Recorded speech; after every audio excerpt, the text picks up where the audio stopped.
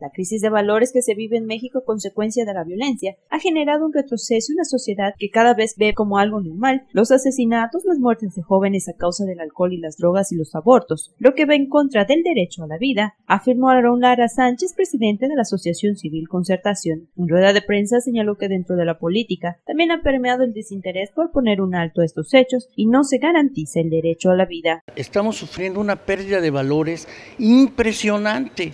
Es algo terrible lo que está ocurriendo.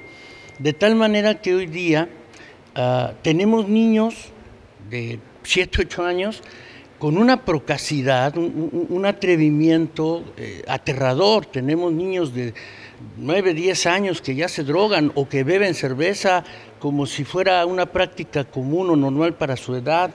Tenemos jovencitas de 12 o 14 años embarazadas y con embarazos no deseados.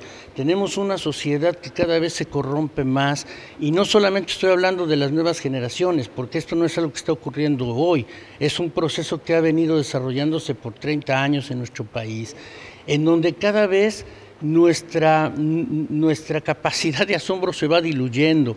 Hoy tenemos en, en, nuestro país la generación de políticos más corrupta de toda nuestra historia.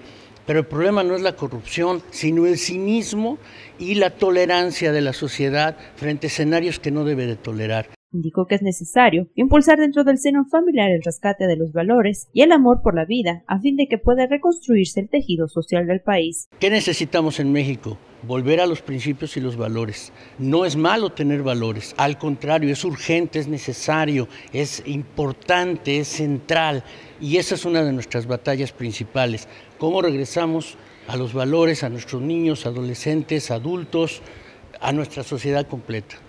Ante esta situación, la agrupación que preside está impulsando una consulta popular denominada México por la Vida, en la cual se recabarán firmas para impulsar leyes en todo el país. Con imágenes de Francisco Baeza, Lilian Hernández, Notivisión.